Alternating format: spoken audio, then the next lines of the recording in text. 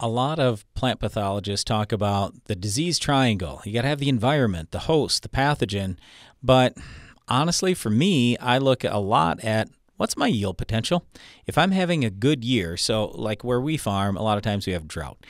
Well, if I'm having a good year, I got potential for 250 to 300 bushel corn. And I think it makes a lot of difference what my yield potential is. If I only have potential for 150 in my area, I'm probably not treating no matter what. So, talk to us about that just a little bit. How does yield potential play into all this? Well, you know, I know a lot of folks may have uh, similar thoughts.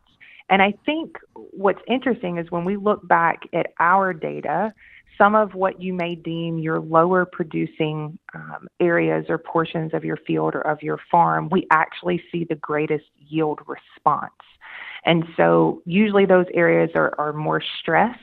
Um, and with a product like Veltyma, not only are you going to get that really long lasting residual disease control, but you're also going to get that environmental stress mitigation. And so I would sort of challenge that thought and encourage you to try it on some of your lower quote unquote performing acres to see how much yield um, you're actually leaving on the table by not treating with a fungicide.